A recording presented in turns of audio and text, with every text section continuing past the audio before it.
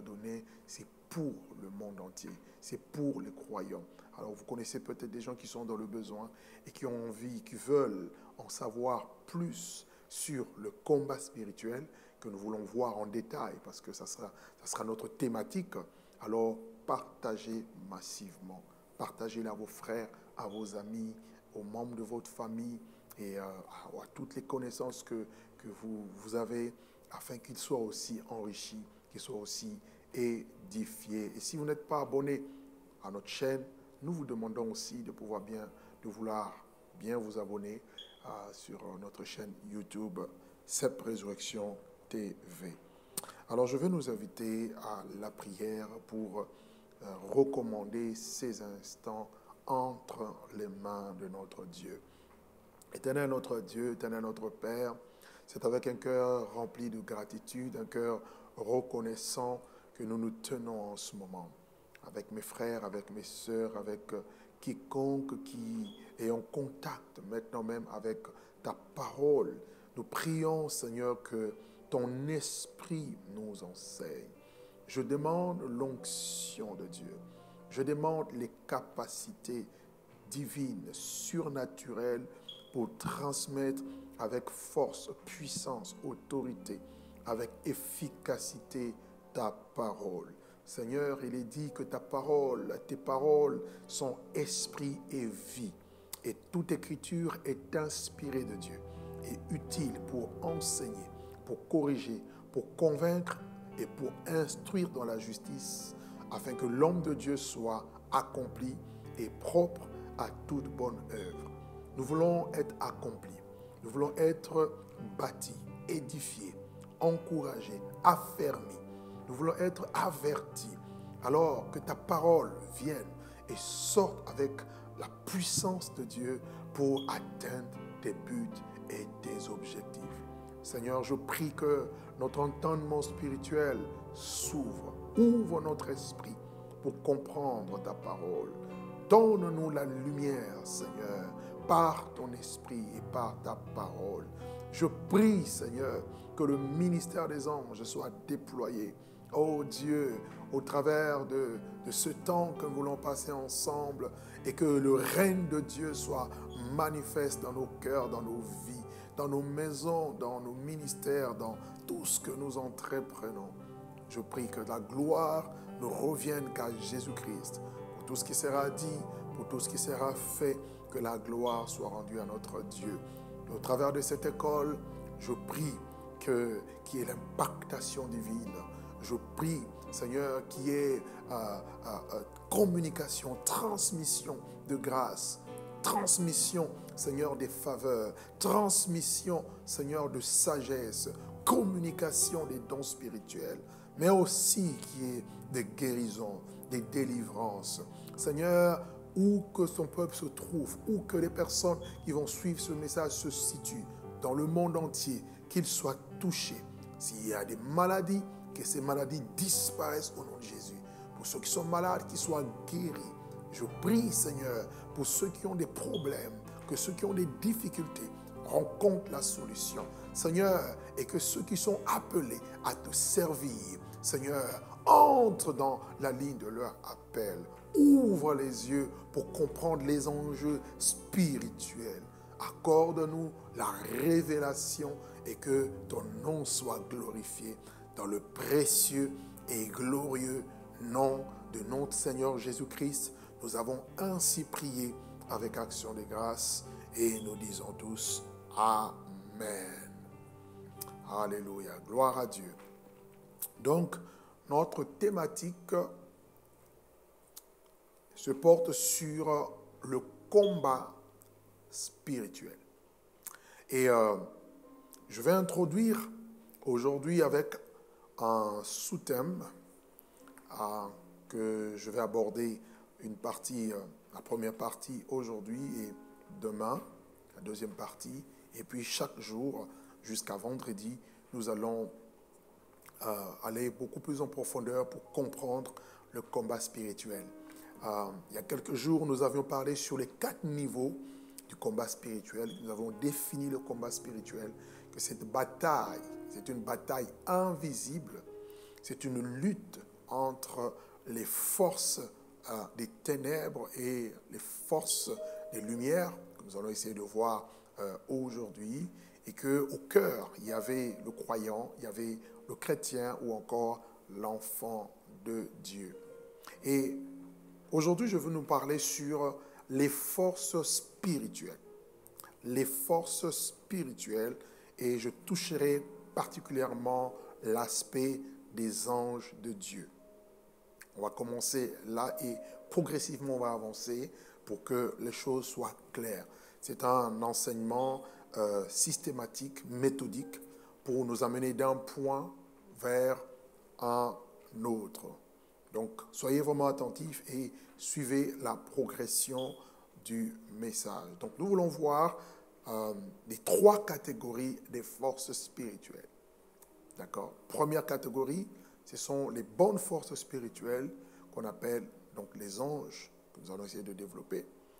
Et ensuite, nous parlerons sur euh, Satan, comprendre, parce qu'on ne peut pas parler du combat spirituel sans parler de lui, voyez-vous, et euh, qui est l'adversaire de Dieu et l'adversaire du peuple de Dieu, ainsi que les forces spirituelles mauvaises qu'on appelle les démons. Donc sachez que cet enseignement, tout notre enseignement sera fondé sur les saintes écritures.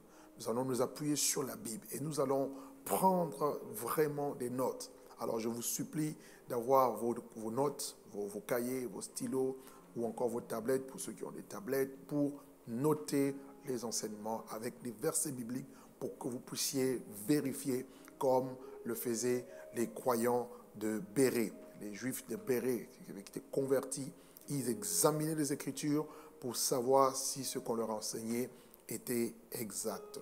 Alors nous sommes dans le livre de Psaume chapitre 34, le verset 8. Psaume 34, verset 8, pour introduire donc notre enseignement sur les anges de Dieu. Notre sous-thème sur les forces spirituelles, nous parlerons sur les anges de Dieu il est écrit ceci. L'ange de l'Éternel campe autour de ceux qui le craignent et il les arrache au danger. L'ange de l'Éternel campe autour de ceux qui craignent Dieu et les arrache au danger. D'entrée de jeu, nous avons une très bonne nouvelle. Malgré tous les dangers, malgré tous les combats, toutes les attaques, tous les plans de l'ennemi, il y a l'ange de Dieu il y a les anges de Dieu, qui campent autour de ceux qui craignent Dieu. Alors, qui sont les anges? Les anges sont des esprits. La Bible dit que les anges sont des esprits. Et en tant qu'esprits, ils n'ont ni chair, ils n'ont ni os. Des esprits que Dieu envoie, qui sont envoyés par Dieu pour faire la volonté de Dieu. Prenons Hébreu chapitre 1er, Hébreu 1, nous lisons le verset 14. Ne sont-ils pas tous des esprits au service de Dieu, envoyés pour exercer un ministère en faveur de ceux qui doivent hériter du salut Il est question ici des anges. Le verset 13 en parle. Aucun des anges a-t-il dit Assieds-toi à ma droite jusqu'à ce que je fasse de tes ennemis ton marchepied. Donc les anges sont des esprits, d'accord, que Dieu envoie, qui sont envoyés par Dieu pour faire sa volonté. Ce sont des êtres spirituels, mais des êtres qui sont réels et des êtres invisibles. Le mot ange signifie littéralement messagers. Qui sont les anges? Les anges sont des messagers. Voici l'explication ou la signification du mot ange. D'où viennent les anges? Quelles sont leurs origines? Il n'y a que Dieu qui existe de par lui-même. Ça, je pense que chacun de nous le sait. Dieu est éternel, il n'a ni commencement de jour, il n'aura point de fin de vie, mais tout ce qui existe ont été créés tout ce qui existe a été créé. Et les anges qui existent, la Bible nous dit qu'ils ont été créés par Dieu. Nous sommes dans le livre de Psaume 148. Psaume 148, nous lisons le verset 2 et puis nous allons lire le verset 5. Louez-le, vous tous ses anges. Louez-le, vous toutes ses armées. Verset 5. Qu'il loue le nom de l'Éternel, car il a commandé et ils ont été créés. Oui, l'armée des cieux, les anges, ont été créés par Dieu. Voilà pourquoi ils ont aussi le devoir, la responsabilité de louer Dieu. Ils ont été créés. Les anges n'existent pas de par eux-mêmes. Ils ont eu un commencement et ils ont été créés par Dieu. Colossiens chapitre 1, le verset 6. Colossiens 1, 6, 16, pardon. Colossiens 1, 16, excusez-moi. Il est dit, car en lui ont été créées toutes les choses qui sont dans les cieux et sur la terre, les visibles et les invisibles, les trônes, dignités, domination, autorité. Tout a été créé par lui et pour lui. Oh, donc à l'origine, nous sommes ici à l'origine, au commencement, on nous dit que les anges ont été créés par Dieu. Ils ont tous été créés justes, saints, bons à l'origine. Parce qu'à l'origine, au commencement, il n'y avait pas des, des mauvaises forces spirituelles. Toutes les forces étaient bonnes à l'origine, au commencement, avant même que le monde ne soit créé. Quand je parle du monde, je parle de la terre. D'accord? Dieu a créé le monde invisible il a créé ensuite le monde visible. Et dans le monde invisible, il a créé des anges. on verra tout à l'heure, dans leur classification, l'organisation, la structure qui euh, régit ou encore qui fait l'organisation n'est-ce pas, euh, euh, euh, au ciel, comment est-ce qu'ils sont classifiés? Et tous ces anges adoraient et servaient le seul vrai Dieu, unique Dieu, Yahvé. Tous ces anges l'adoraient. Mais malheureusement, quelque temps après, il va y avoir une révolte au ciel. On en a parlé et j'en parlerai encore en détail. Lucifer qui a voulu euh, usurper la place de Dieu, prendre la place du Seigneur et a voulu se faire adorer au ciel et il a été précipité.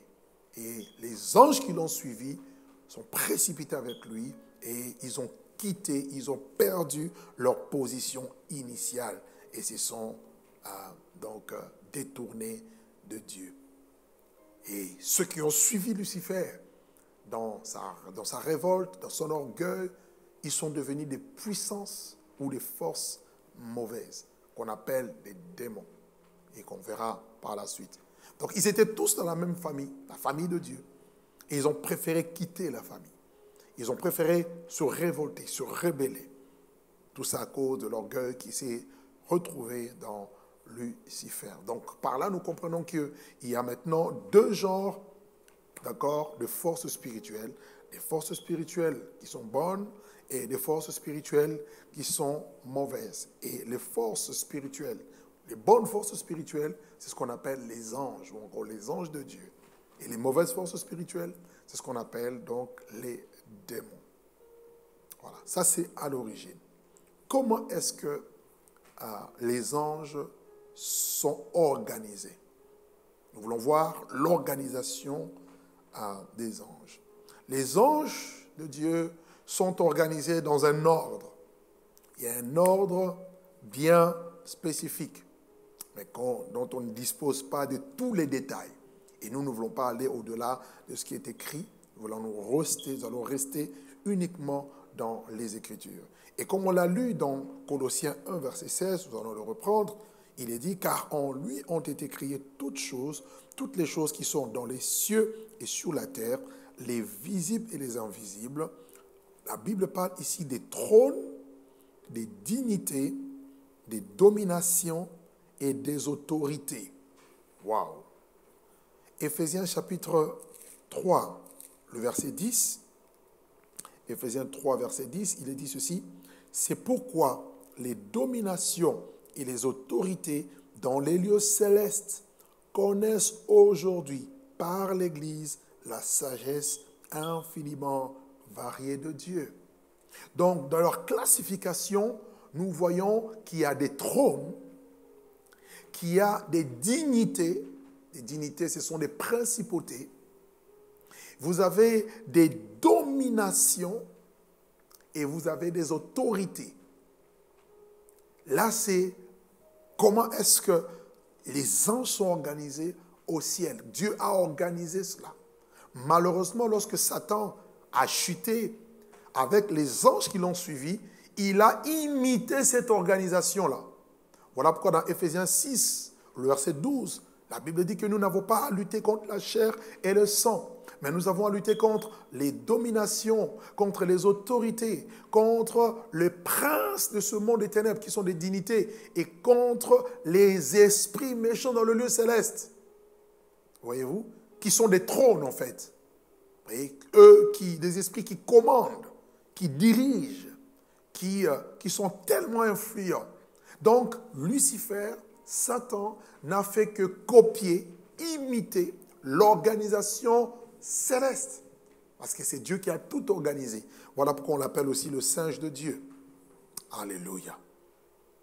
Comment est-ce qu'ils sont classifiés? Comment est-ce que la Bible classifie les anges? Une vérité importante à noter, c'est que il existe des multitudes d'anges. Le nombre des anges euh, est innombrable. Il est difficile de les, quantifier, il est difficile de, de les compter, tellement qu'ils sont nombreux. Tellement, on parle de multitudes, on parle des myriades, des mille milliers, on le verra. Par contre, comme Dieu est organisé, il a aussi su aussi organiser, classifier les anges parce qu'ils n'exécutent pas tous la même fonction. Pour les anges, ne jouent pas le même rôle. Ils n'ont pas tous la même fonction et la Bible nous parle de quelques classifications que je vais essayer d'énumérer. Il y a un ange que je, ne veux pas vraiment toucher, aller toucher en profondeur. C'est ce que la Bible appelle, nous le voyons dans l'Ancien Testament uniquement, c'est ce qu'on appelle l'ange de l'Éternel. L'ange de l'Éternel ou encore l'ange de Dieu. L'ange de l'Éternel est une préfiguration de Jésus-Christ. Parce qu'à chaque fois qu'on voit son intervention, on voit que c'était Dieu sous une forme, sous une apparence d'un ange qui venait entrer en, en, action dans les affaires des hommes. Et quelque part d'ailleurs, on nous dit que l'ange de l'Éternel, qu'on appelait aussi l'ange de Dieu, était Dieu. Son nom était mystère. Quand vous lisez Juge notamment, quand euh, Manoach a voulu connaître le nom de l'ange, comment est-ce que cet ange s'appelait L'ange a répondu mystère. Je m'appelle mystère. D'autres versions disent merveilleux. Et quand Jésus devait naître, Esaïe a dit, euh, euh, dans Esaïe chapitre 9, verset 5, car un enfant nous est né, un fils nous a été donné et la domination reposera sur son épaule. On l'appellera admirable, conseiller, euh, Dieu puissant, prince de paix. Alléluia. Admirable. Le mot admirable, c'est le nom merveilleux. C'est le nom, c'est un mystère. Il est merveilleux et mon nom. En d'autres termes, admirable est mon nom. C'est ce que l'ange de Dieu ou l'ange de l'Éternel a répondu à Manoach. Donc nous voyons qu'il y a une similitude entre l'ange de Dieu et Jésus-Christ dont il était la préfiguration. Mais je veux plus m'attarder sur les autres classes d'anges. Alors, première classe d'anges que je voudrais partager avec nous, c'est ce qu'on appelle les messagers. Première classe d'anges, les messagers. Et dans cette... Euh, enfin, les messagers, les anges messagers sont tellement nombreux. Ah oui, ils sont tellement, tellement nombreux. Quand vous lisez la Bible, leur nombre est, est illimité, pratiquement. Daniel, par exemple, prenez avec moi Daniel chapitre 7, verset 10. Daniel 7, verset 10, il est dit, un fleuve de feu coulait et sortait de devant lui, donc du trône de Dieu. Mille milliers le servaient et dix mille millions se tenaient en sa présence. Vous vous rendez compte? Mille milliers et dix mille millions se tenaient en sa présence. Et les anges messagers viennent pour exécuter la volonté de Dieu. Ils exécutent la volonté de Dieu au ciel, mais aussi sur la terre. Et on verra ça certainement vers la fin. Et c'est cette classe d'anges que Dieu envoie souvent pour travailler avec les croyants, travailler avec les chrétiens, travailler avec l'Église dans le cadre du combat spirituel.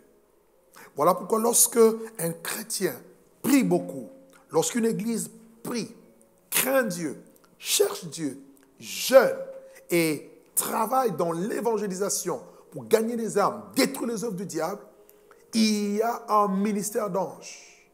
Il y a ces anges que Dieu envoie pour être avec eux parce que dans le monde spirituel, si Dieu nous ouvre les yeux, vous allez voir des guerres terribles qui se font. Il y a des guerres, il y a, il y a, il y a des luttes terribles, mais que nous, nous ne voyons pas avec nos yeux charnels, mais qui se passent dans le monde spirituel. Et les messagers sont envoyés par Dieu. Dieu les envoie, ils sont tellement nombreux pour assister, être avec l'Église, les enfants de Dieu, les croyants, dans le combat spirituel. Les anges messagers font la volonté de Dieu. Ils protègent les enfants de Dieu. Ils apportent des réponses je dirais, à la prière des saints. Ils annoncent des messages. Les anges messagers interviennent aussi dans l'avertissement. La, ils, ils nous avertissent de quelque manière que ce soit. Ils instruisent le peuple de Dieu, mais ils apportent aussi des jugements. Ils encouragent et soutiennent. Les anges messagers sont aussi envoyés pour libérer les enfants de Dieu, mais aussi pour intercéder de la part des enfants de Dieu, en faveur des enfants de Dieu. Je vais revenir là-dessus beaucoup plus en détail tout à l'heure. Deuxième classification des anges, ce sont des anges élus ou encore des anges choisis. Mais la Bible ne nous donne pas beaucoup plus de détails sur ça. Allons-y dans le livre de 1 Timothée, chapitre 5, verset 21. 1 Timothée 5, verset 21. L'apôtre Paul dit ceci je te conjure devant Dieu, devant Jésus-Christ et devant les anges élus d'observer ces choses sans prévention et de ne rien faire par faveur. On nous parle ici des anges qui sont élus, des anges qui sont choisis. Mais c'est le seul texte où nous voyons ça et la Bible ne dit pas plus, n'en dit pas plus, alors nous nous arrêtons là. Troisième classe d'anges, c'est ce qu'on appelle les chérubins. Les chérubins qui sont des anges ailés, qui ont des ailes. Et cette catégorie d'anges, nous la voyons d'abord dans Genèse, lorsque Dieu a chassé Adam et Ève du jardin. Tout de suite, nous voyons des anges, des chérubins que Dieu envoie pour protéger le chemin de l'arbre de vie le chemin, l'accès qui menait à l'arbre de vie dans le jardin. Nous sommes dans Genèse chapitre 3, le verset 24. Prenons d'abord le verset 23. Genèse chapitre 3, 23 à 24. Et l'Éternel Dieu chassa du jardin d'Éden, le chassa du jardin d'Éden pour qu'il cultive la terre d'où il avait été pris. C'est ainsi qu'il chassa Adam et il mit à l'orient du jardin d'Éden les chérubins qui agitent une épée flamboyante pour garder le chemin de l'arbre de vie. Les chérubins, c'est cette classe d'anges qui euh, sont autour du trône de Dieu et qui sont liés directement à la sainteté de Dieu. Et on parle des anges qui sont les gardiens de la sainteté de Dieu, les gardiens de Dieu. Et quand Dieu a chassé Adam et Ève du jardin, il a envoyé des chérubins. On ne connaît pas leur nombre. On dit des chérubins. Ils étaient nombreux. Et ils agitaient une épée flamboyante, une épée en feu, pour sécuriser l'accès au jardin, mais principalement l'accès à l'arbre de vie. Pour que l'homme ne touche pas à ce tableau-là, dans sa condition de péché, pour qu'il demeure éternellement dans le péché, parce que Dieu avait un plan de salut, un plan de rédemption pour l'homme. C'est-à-dire envoyer Jésus-Christ lui-même venir mourir pour l'homme. Voyez-vous? Et plus tard, dans Ézéchiel, nous voyons aussi des détails sur ces anges. Nous sommes dans Ézéchiel au chapitre 1er. Ézéchiel au chapitre 1er. Vous lirez à partir du verset 3 jusqu'au verset 28, euh, jusqu'à la fin, mais nous, allons juste sélectionner quelques textes. Prenons à partir du verset 4. Ézéchiel 1er, partir verset 4. Je regardais et voici, il vint du septentrion un vent impétueux une grosse nuée, une gerbe de feu éclatante, au centre de laquelle brillait comme de l'airain poli, sortant et sortant du milieu du feu. Au centre encore apparaissaient quatre êtres vivants. On nous parle ici de quatre êtres vivants dont l'aspect avait une ressemblance humaine. Chacun d'eux avait quatre faces et chacun avait quatre ailes. Verset 10. Quant à la figure de leur face, ils avaient tous une face d'homme, et tous les quatre avaient une face de lion à droite, et tous les quatre avaient une face de bœuf à gauche, et tous les quatre avaient une face d'aigle. Waouh! Et leur face et leur aile étaient séparées par le haut, et, et deux de leurs ailes étaient jointes l'une à l'autre, deux se couvraient leur corps. Chacun marchait droit devant soi. Ils allaient où l'Esprit les poussait à aller et ne se tournaient point dans leur marche. L'aspect de ces êtres vivants ressemblait au charbon de feu ardent. C'était comme l'aspect des flambeaux. Et ce feu circulait entre les êtres vivants et y jetait une lumière éclatante. Il en sortait des éclairs et les quatre êtres vivants couraient et revenaient comme la foudre. Waouh! Ils courent et reviennent comme la foudre. Ça, nous voyons l'aspect du ciel. Les quatre animaux, la, Ézéchiel les, euh, décrit comme étant les quatre animaux, d'accord, euh, euh, et, et qui ont plusieurs faces. La face d'un homme, la face d'un veau ou encore d'un bœuf, la face d'un homme, et la face d'un aigle. Waouh, alléluia. Les quatre visages. Lion, veau, homme, aigle. Et ces quatre animaux, nous le retrouvons aussi dans Ézéchiel 10, verset 20. Prenez Ézéchiel 10, verset 20, jusqu'au verset 22. Euh, Il est dit ceci, c'était des êtres vivants que j'avais vus sous le Dieu d'Israël. Donc, ce sont des êtres qui soutiennent, qui se trouvent dans le trône de Dieu. Psaume nous dit que le trône de Dieu est assis sur les chérubins. Dieu est assis sur les chérubins. Waouh! Je ne sais pas comment vous pouvez comprendre ça. Que le Saint-Esprit vous aide simplement à comprendre. Voyez? Donc, c'est cette classe d'anges qu'on retrouve dans la sainteté de Dieu, dans la ceinture rapprochée, très rapprochée, parce que eux, ils sont ils sont autour du trône et dans le trône. Et le trône est fondé, bâti, si je peux ainsi m'exprimer, sur les chérubins. Amen. Et là où il y a la sainteté, là où il y a la gloire, il y a les chérubins au ciel. Et le verset 22 euh, nous dit ceci.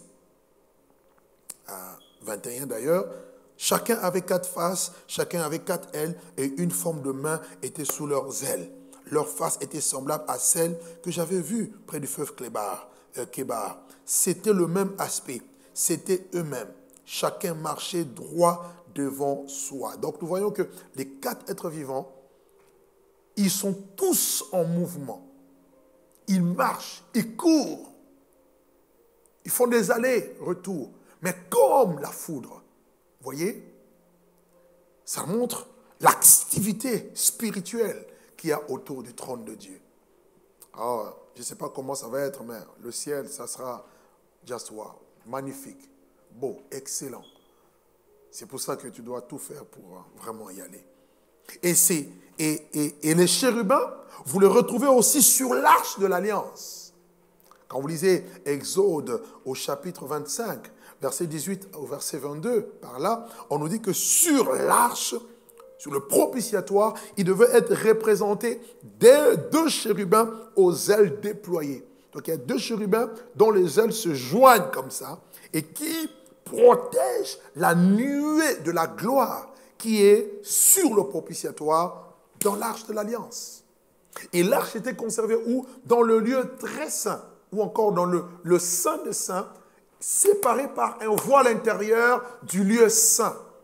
Et dans le lieu très saint, au-delà du voile, il n'y avait que le souverain sacrificateur qui pouvait y entrer et faire le sacrifice. Donc quand tu entrais impunément, tu mourais dedans. Tellement que la sainteté de Dieu est tranchante comme une épée. Rappelez-vous, ils ont une épée flamboyante qui agite pour empêcher d'entrer. Gloire soit rendue à notre Dieu. Ce voile a été déchiré à la croix de Jésus et l'entrée est maintenant disponible. C'était juste une parenthèse pour nous. Apocalypse chapitre 4, verset 6. On les appelle les quatre êtres vivants. Apocalypse 4, 6, il dit ceci. Il y a encore devant le trône comme une mer de verre, semblable à du cristal. Et au milieu du trône et autour du trône, il y a quatre êtres vivants remplis Dieu devant et derrière. Le premier être vivant est semblable à un lion. Le deuxième être vivant est semblable à un veau. Le troisième être vivant a la face d'un homme. Et le quatrième être vivant est semblable à un aigle qui vole. Les quatre êtres vivants ont chacun six ailes et ils sont remplis Dieu autour et au-dedans. Ils ne cessent de dire nuit et jour, Saint, Saint, Saint est le Seigneur Dieu, le Tout-Puissant qui était, qui est et qui vient. Amen. Donc là, nous voyons encore les quatre êtres, les, les, quatre êtres vivants, les animaux que euh, euh, euh, comment Ézéchiel a vus, qui ne sont rien d'autre que des chérubins. Il les voit où? Là. Les chérubins appartiennent à l'ordre le plus, le plus haut des anges. C'est l'ordre le plus haut. D'accord? Dans la classification, c'est les tops. Ils sont au-dessus. Parce que eux se trouvent où? Dans le trône, carrément. Ce sont des anges gardiens de Dieu. Ah, j'aimerais que tu puisses noter ça, souligner ça.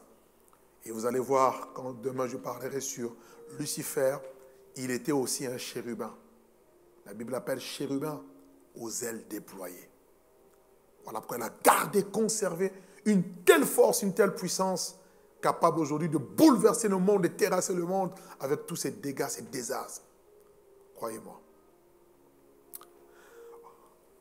Troisième catégorie, quatrième je crois, des, anges, ce sont les séraphins. Les séraphins. Nous sommes dans le livre de Ésaïe, Ésaïe chapitre 6, et nous lisons à partir du premier verset. Isaïe 6. L'année de la mort du roi Osias, je vis le Seigneur assis sur un trône très élevé, et les pans de sa robe remplissaient le temple.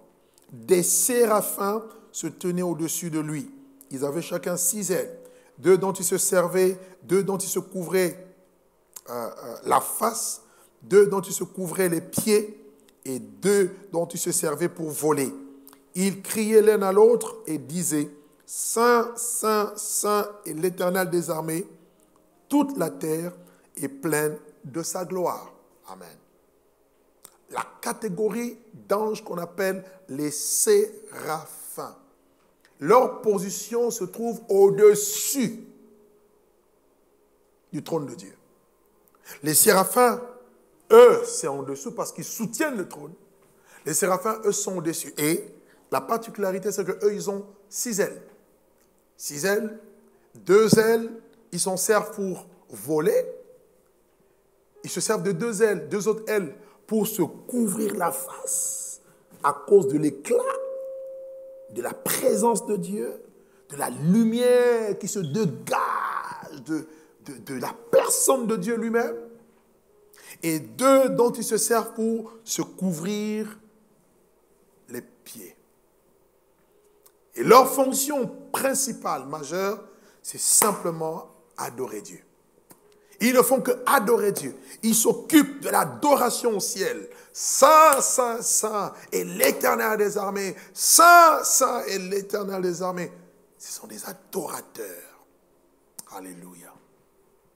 Autre classe d'anges que la Bible nous présente, ce sont des archanges, des chefs des anges. Et parmi eux, je vais en citer deux. Que nous voyons clairement vous savez, la tradition parle de certains autres anges, euh, tels que Raphaël et autres. Ce n'est pas écrit dans la Bible, vous voyez? Et nous devons rester scripturaires, ok? Je l'ai dit au début, tout ce que nous allons dire pendant cette école, c'est tiré de la Bible, pas d'un autre livre, pas des livres apocryphes ou encore d'hétérocanoniques qui ne sont pas d'autorité en matière de foi. Donc, très important que nous respections l'autorité de la parole de Dieu. Les archanges sont des anges unique. Et la Bible en mentionne deux. Le premier, c'est l'archange Michael. Michael ou Michel. Le nom Michael ou Michel signifie littéralement qui est comme Dieu. Michel ou Michael signifie qui est comme Dieu. Et Michel est cité dans Daniel chapitre 10. Allons-y, Daniel chapitre 10, nous allons voir quelques textes. Daniel 10, le verset 13. Il est dit ceci, et puis nous lirons le verset 21. Daniel 10, verset 13. Là, il y avait un combat spirituel. Daniel est entré dans un jeûne, qu'on connaît tous, le jeûne de Daniel. Pendant 21 jours, il jeûnait, il priait. Quand il a commencé la prière et le jeûne, Dieu a entendu sa voix. La réponse a été envoyée, mais l'ange qui a porté la réponse a été bloqué. On l'a vu, par une principauté, euh, une dignité démoniaque malheureusement, euh, le prince de Perse, et qui euh, l'a retenu, et, c'est ce qui est écrit, le chef du royaume de Perse m'a résisté 21 jours, et mais voici Michael, l'un des principaux chefs, est venu à mon secours, et je suis demeuré là auprès des rois de Perse. Vous voyez? Donc là, on voit déjà l'intervention de Michel ou encore de Michael, l'un des principaux chefs, un archange. Euh, le verset 21, toujours de Daniel 10, il dit, mais je veux te faire connaître ce qui est écrit dans le livre de la vérité. Personne ne m'aide contre cela, excepté Michael, votre chef. Amen. Dans Daniel chapitre 12, au verset 1er, il est dit ceci, Daniel 12, verset 1er. En ce temps-là se levera Michael, le grand chef, le défenseur des enfants de ton peuple, et ce sera une époque de détresse telle qu'il n'y en a point eu de semblable depuis que la nation existe jusqu'à cette époque. En ce temps-là, ceux de ton peuple qui sont trouvés inscrits dans le livre seront sauvés. Et là encore, on nous parle de Michael. Nous sommes dans Jude, verset 9. Jude, juste avant Apocalypse, il y a un seul verset, Jude, verset 9. Il est dit ceci, dans Jude 9. Or, l'archange Michel, lorsqu'il contestait avec le diable et lui disputait le corps de Moïse, n'osa point porter contre lui un jugement injurieux, mais il dit que le Seigneur te réprime. On nous parle ici de l'archange, donc on, précise que c'était un archange un chef des anges. C'était le chef de l'armée de Dieu. Il est, chef des anges guerriers. Michel est un ange guerrier. Il est impliqué dans la guerre. Dans les guerres de l'Éternel. Il soutient les guerres de l'Éternel. Et je suis convaincu qu'il est souvent en mission. Hein. Il va dans une mission, dans une partie du, globe, il revient, il fait le rapport, le Père l'envoie encore ailleurs, il part, il revient, et il n'est qu'en guerre. C'est un, c'est un archange impliqué dans le combat, dans, dans, dans les guerres. Et lui, il résiste aussi à Lucifer directement. Apocalypse chapitre 12, verset 7. Apocalypse 12, verset 7, la Bible dit ceci. Il y eut guerre dans le ciel. Michel et ses anges combattirent contre le dragon, et le dragon aussi avec ses anges combattirent. Mais ils ne furent point les plus forts, et leur place ne fut plus trouvée dans le ciel. Il fut précipité le dragon, voilà, et tout ce que vous connaissez. Donc il y a eu guerre, et qui a combattu contre le dragon, qui était Lucifer, on verra, c'était Michel. Donc c'est le chef que Dieu envoie pour combattre. C'est le grand chef et, euh, euh, parmi les anges, et c'est aussi le défenseur des enfants d'Israël. Deuxième archange que la Bible nous présente, c'est Gabriel. Gabriel, qui est, dont le nom signifie héros de Dieu, héros de Dieu ou encore homme de Dieu, ou encore le puissant, Gabriel. Et nous voyons Gabriel dans Daniel chapitre 8, verset 16. Daniel 8, verset 16. Nous lisons ceci.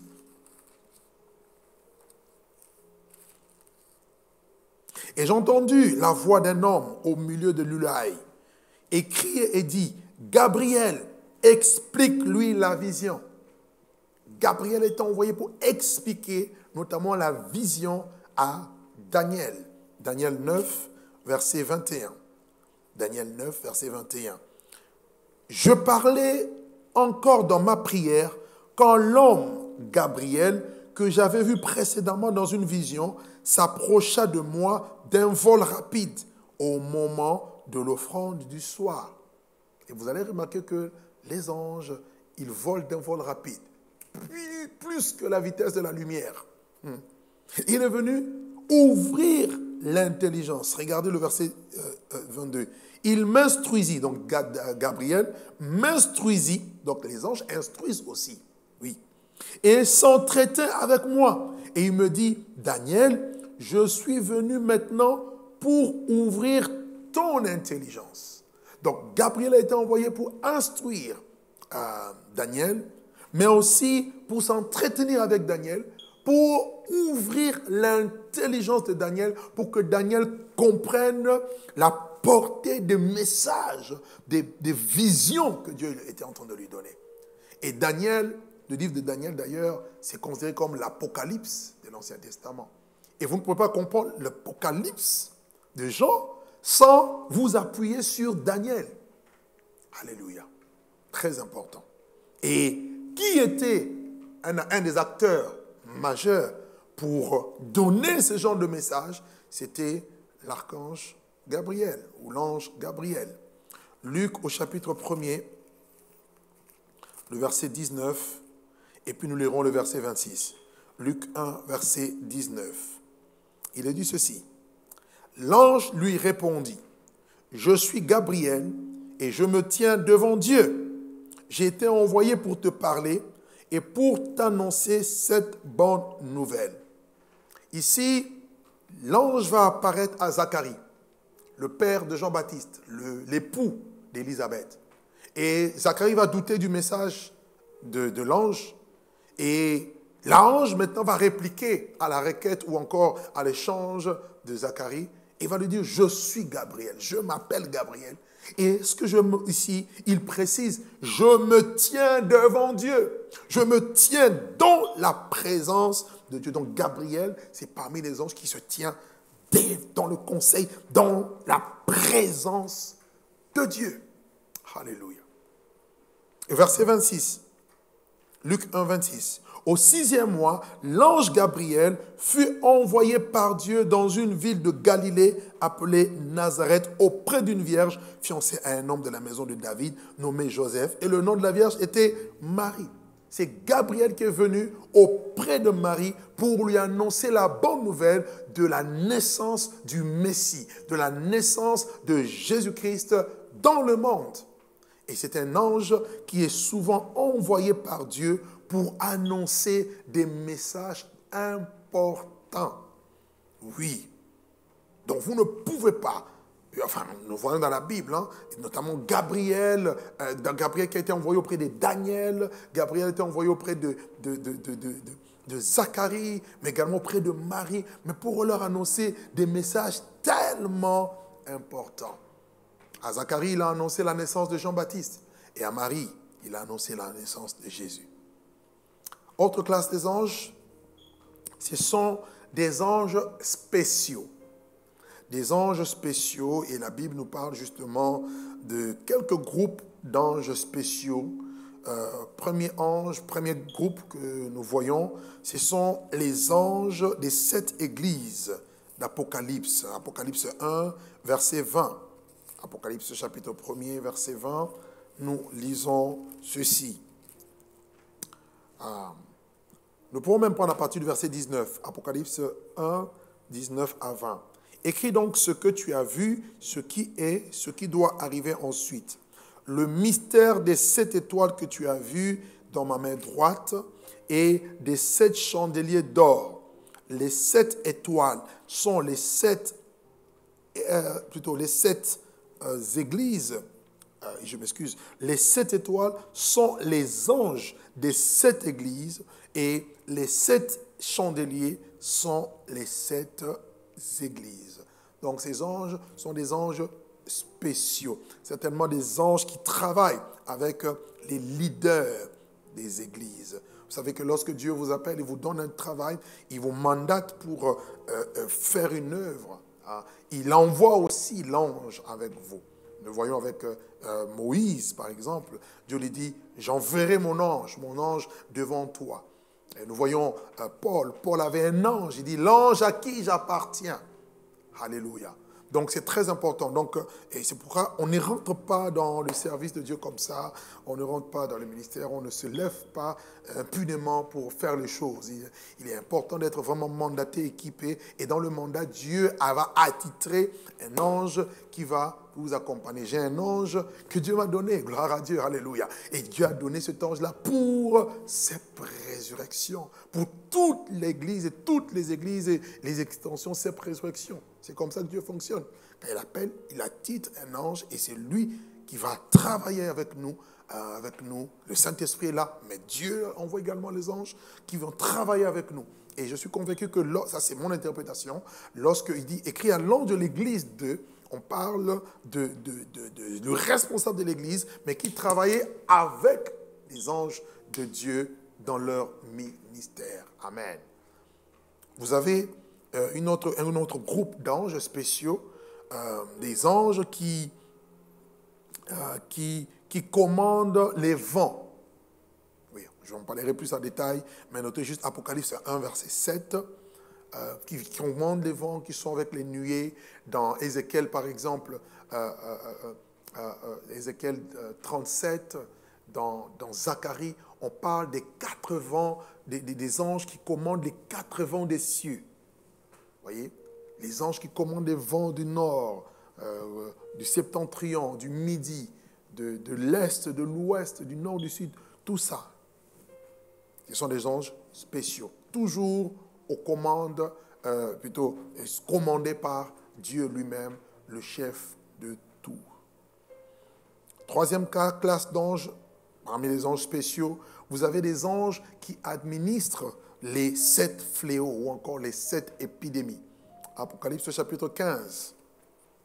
Nous prenons le verset 1 puis le verset 7. Apocalypse 15, verset 1 et puis le verset 7. Merci Saint-Esprit. Il dit, puis je vis dans le ciel un autre ange, un autre signe, pardon, grand et admirable, sept anges qui tenaient sept fléaux, les derniers, car par eux s'accomplit la colère de Dieu. Ça, je reviendrai là-dessus à la prochaine école, quand je parlais sur l'eschatologie. Je vais nous parler sur notamment les sept coupes de la colère de Dieu. Je ne parlerai sur les sept trompettes, mais je parlerai aussi sur les sept euh, sceaux. Et vous allez comprendre leurs différences et, où est-ce que nous pouvons, nous, en tant qu'Église, en tant que peuple de Dieu, nous positionner maintenant par rapport à ces choses qui vont arriver. Bien aimé, il faut lire l'Apocalypse, pas pour, être, pas pour, pour avoir peur, mais pour savoir, en fait, l'issue des choses. C'est très important. Sinon, vous allez être dans la distraction et le diable va se jouer de vous. D'accord? Donc ici, nous voyons donc les sept euh, anges qui tenaient les sept fléaux ou encore les sept épidémies pour envoyer dans le monde. Et la Bible, ce n'est pas eux que vont s'accomplir la colère de Dieu. Verset 7, Apocalypse 15, 7, il dit, l'un des, quatre êtres euh, vivants donna aux sept anges sept coupes d'or pleines de la colère de Dieu qui vit au siècle des siècles. Donc ça, ce sont les anges spéciaux que nous retrouvons. Alors, nous allons toucher maintenant les attributs des anges. Nous avons parlé de leur classification, Maintenant, nous voulons parler de leurs attributs. OK? C'est-à-dire des traits de caractère, leurs caractéristiques, hein, ce, qui fait leur, ce qui fait leur spécificité. Vous comprenez? Donc, les anges, je vais toucher quelques points. Et euh, premier point, les anges sont d'abord des esprits. Alors, ça, c'est très important. Ils sont des esprits, ils sont donc invisibles. Mais vous allez comprendre que par la suite, euh, Dieu peut permettre que ces anges se manifestent de manière visible. Donc il y a des gens qui ont vu des anges, oui. Donc ce n'est pas, non plus, euh, euh, pas non plus de la folie, c'est vrai. Mais à la base, tous les anges sont invisibles et ils sont esprits. Et en tant qu'esprit, ils ne sont pas matériels, ils ne sont pas physiques, ils ne sont pas palpables. Vous ne pouvez pas le palper, vous ne pouvez pas, en tant qu'esprit, un esprit n'a ni chair ni os, voyez-vous D'accord? Donc Hébreu chapitre 1er verset 4 le dit. Hébreu verset 1er au verset 4, il dit ceci. Euh, il est autant devenu supérieur euh, aux anges qu'il a hérité d'un nom plus excellent que le leur. Le verset 14, verset 14, il dit, ne sont-ils pas tous des esprits au service de Dieu? Les anges. Ne sont-ils pas tous des esprits au service de Dieu envoyés pour exercer un ministère en faveur de ceux qui doivent hériter du salut? Donc les anges sont des esprits. Deuxième vérité, les anges sont asexués. En d'autres termes, ils n'ont pas de sexe. Ni sexe masculin, ni sexe féminin.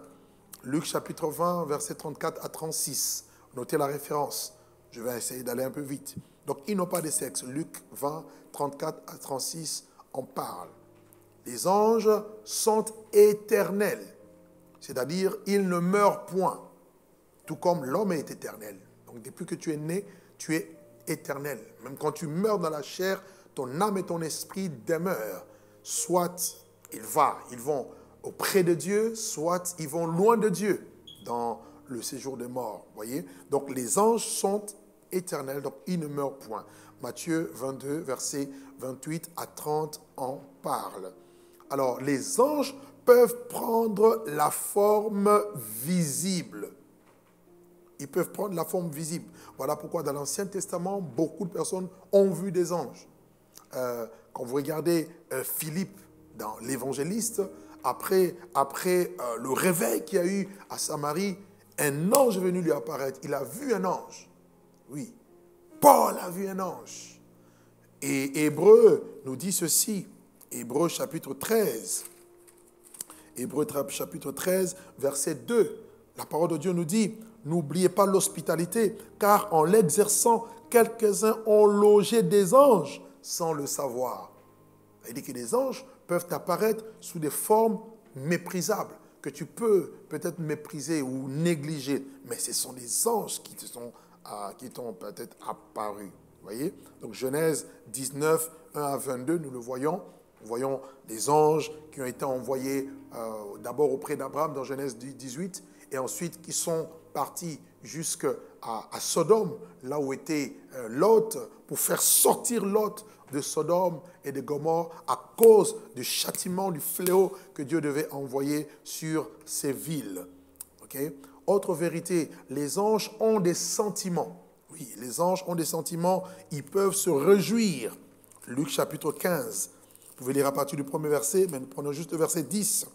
Luc 15, le verset 10 nous dit ceci. Alléluia. De même, je vous le dis, il y a de la joie devant les anges de Dieu pour un seul pécheur qui se répand. Il y a de la joie pour devant les anges de Dieu. Donc les anges de Dieu éprouvent aussi de la joie. Oh, voilà pourquoi tu dois travailler dans l'évangélisation. Tu dois travailler pour gagner les âmes. Et quand les âmes sont gagnées, la Bible dit, parce qu'une âme est gagnée, parce qu'une âme se convertit au ciel, devant les anges de Dieu. Waouh C'est l'allégresse, c'est la joie, c'est la félicité. Autre vérité, les anges sont des êtres glorifiés. Oui, ce sont des êtres qui sont dans la gloire. Il y a une gloire autour des anges. Voilà pourquoi, à cause de cette gloire, on est tétanisé, on est terrifié. Luc chapitre 9, verset 26, notamment, vous pouvez noter. les, gens, les gens qui ont vu l'apparition d'anges dans, leur éclat, ils ont eu peur. Ils ont eu peur parce qu'ils sont éclatants. Leurs vêtements sont, sont éclatants lorsqu'ils apparaissent. Alléluia. Gloire à Dieu. Les anges sont intelligents. Une autre vérité. Ils sont intelligents. De Samuel chapitre 14, verset 20, la deuxième partie. De Samuel 14, 20, la deuxième partie, il est dit, mais mon Seigneur est aussi sage ou encore intelligent qu'un ange de Dieu pour connaître tout ce qui se passe sur la terre. Les anges sont des êtres sages, ce sont des êtres intelligents. Et je vous parlerai, quand demain je vais toucher l'aspect de Satan et l'aspect des démons, vous allez comprendre que même le diable, même les démons sont intelligents. Malheureusement, mais leur intelligence maintenant est orientée vers le mal. Au lieu d'être intelligents pour Dieu, mais ils sont ingénieux mal. Ils mettent des stratégies, des plans pour nous avoir, nous détourner. Oh, que Dieu nous garde et qu'il nous détourne de leurs projets, de leurs stratagèmes. Les anges sont humbles. Ah oui, ils connaissent leur position dans l'exercice de l'autorité. Oui. Jude verset 9, on l'a lu, lorsque l'archange Michel disputé avec Satan le corps de Moïse, il n'a pas libéré des propos injurieux, mais il a dit que l'Éternel te réprime. En d'autres termes, il n'a pas voulu confronter, il n'a pas voulu euh, exercer directement un jugement sur Lucifer parce qu'il connaissait sa position dans l'ordre d'autorité. Bien aimé, il est important de savoir respecter l'autorité. Qui est l'autorité? La personne qui est au-dessus de moi et je dois lui être soumis. D'accord? Et dans le respect de l'autorité, on ne confronte pas. Comme là, il, n'a pas confronté, il a arraché le corps de Moïse, mais il n'a pas injurié Lucifer, il n'a pas injurié Satan. Donc ils sont humbles parce qu'ils respectent leur position. Amen. Amen, amen. Lorsque l'ange qui avait amené le message à Daniel était bloqué, parce que le chef de Perse l'avait résisté, il a attendu qu'il soit libéré par l'archange Michel. Il ne s'est pas dit, mais pourquoi, pourquoi c'est moi qu'on a résisté et que c'est Michel qui vient maintenant me libérer? Non, non, non, non, non. Connaître sa place et respecter l'autorité est très important. C'est un signe d'humilité. C'est un signe d'humilité. On ne s'élève pas soi-même. Alléluia. Les anges sont puissants. Voici une autre caractéristique des anges. Ils sont puissants. Psaume 103, verset 20. Lisons-le ensemble. Psaume chapitre 103, le verset 20. Il dit ceci. Alléluia. Bénissez l'Éternel, vous ces anges qui êtes puissants en force et qui exécutez ses ordres en obéissant à la voix de sa parole. On nous montre ici que les anges sont puissants en force. Oui, c'est pour ça qu'on a besoin d'eux dans le combat spirituel. Non, tu ne peux pas combattre seul, sans, sans, sans l'armée céleste. Ce n'est pas possible. On va le voir même Jésus, lorsqu'il était dans ce combat acharné, dans le jardin de Gethsemane, il avait besoin que le Père envoie des anges pour le soutenir, le fortifier. Sans le ministère des anges, voilà pourquoi nous commençons là, on ne pourra pas. Alléluia. Un autre texte qui nous parle de cette puissance, c'est 2 Pierre chapitre 2 verset 11. 2 Pierre 2 verset 11, on nous dit que les anges sont supérieurs en force et en puissance. Ils dépassent, ils nous dépassent en force et en puissance. Les anges sont puissants, les anges sont forts, ils nous dépassent. Autre caractéristique, les anges n'ont pas besoin de repos. Hmm. Ils n'ont pas besoin de se reposer. De la même manière, Lucifer ne se repose pas. Hmm. Toi, tu peux te reposer, mais lui ne dort pas. Mais les anges aussi n'ont pas besoin de repos. Apocalypse 4, verset 8. Ils ne cessent de crier, ils ne cessent de servir dans la présence de Dieu. Autre caractéristique, ils voyagent à grande vitesse, à très très grande vitesse. Ils se déplacent, mais très très rapidement. Je disais même plus que la vitesse de la lumière. Apocalypse 8, verset 13 en parle. Vous pouvez le lire dans Apocalypse 8, verset 13. Autre caractéristique, les anges parlent en langue. Alors, quand je suis arrivé là, j'ai moi-même rigolé un peu.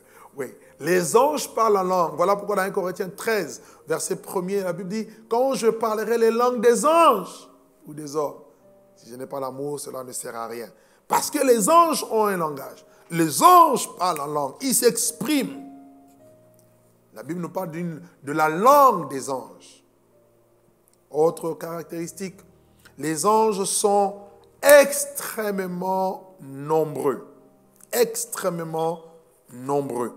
Nous prenons Luc chapitre 2 verset 13. Regardez un peu. Je voudrais un peu nous montrer Luc chapitre 2 verset 13. La Bible dit, et soudain il se joignit à l'ange une multitude de l'armée céleste, louant Dieu une multitude, ils sont nombreux. Hébreu 12, 22. Hébreu chapitre 12, le verset 22. La Bible dit, mais vous vous êtes rapprochés de la montagne de Sion, de la cité du Dieu vivant, de la Jérusalem céleste, des myriades qui forment les cœurs des anges. Waouh!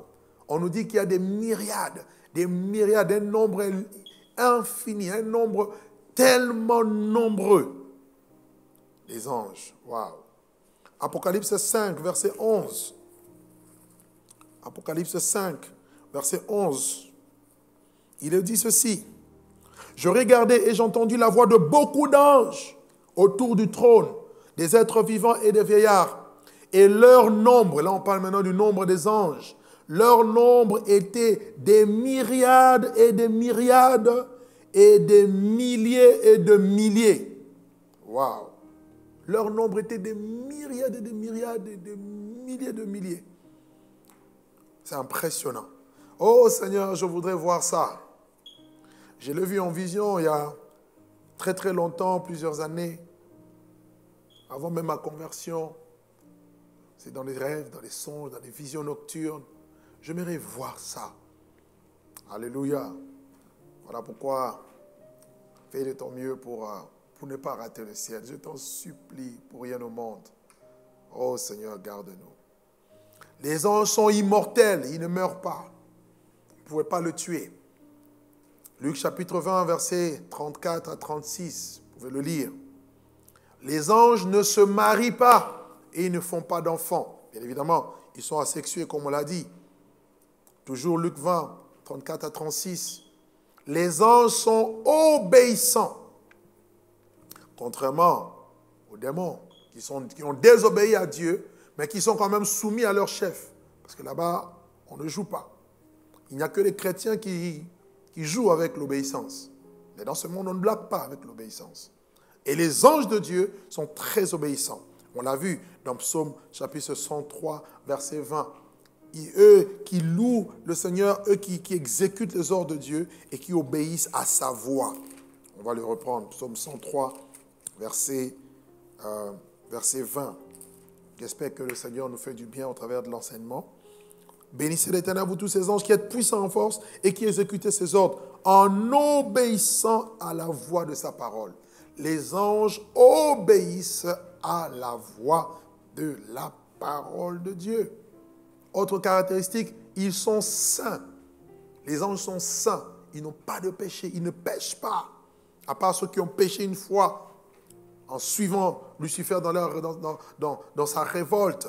Apocalypse 14, verset 10, on nous parle de saints anges. Marc chapitre 8, verset 38. Marc 8, 38 nous parle également de saints anges. Alors je voudrais finir dans leurs caractéristiques en disant, tous ces anges, leur plus haute activité n'est pas d'abord le combat spirituel, mais plutôt l'adoration. Alléluia. Tous les anges de Dieu sont impliqués dans l'adoration. Néhémie chapitre 9, verset 6. Voilà pourquoi, dans les jours qui viennent, si Dieu nous permet, nous parlerons sur l'adoration comme une arme dans le combat spirituel. Et malheureusement, certains d'entre nous n'arrivent pas à adorer. L'adoration est une clé. Et nous allons voir d'abord au ciel, dans le combat. Et voilà qu'elle dit, l'heure vient, elle est déjà venue, où les vrais adorateurs adoreront le Père en esprit et en vérité. Néhémie chapitre 9, verset 6, il est dit, c'est toi, éternel, toi seul, qui as fait les cieux et les cieux des cieux et toute leur armée, la terre et tout ce qui est sur elle, les mers et tout ce qu'elle renferme. Tu donnes la vie à toutes ces choses et l'armée des cieux t'adore. Alléluia. L'armée adore Dieu. Voilà pourquoi quand Lucifer a voulu qu'on puisse l'adorer, lui, qui est la créature, il a été chassé. On n'adore pas la créature, mais on adore le Créateur qui est béni éternellement. Philippiens 2, verset 9 à 11, on nous dit que Jésus a reçu le nom qui est souverainement élevé au-dessus de tout le nom, afin qu'au nom de Jésus, tous genoux fléchissent dans les cieux. Et bien évidemment, les genoux qui fléchissent dans les cieux, c'est les genoux des anges. Alléluia. Les anges, des créatures célestes, ils adorent Jésus-Christ. Amen.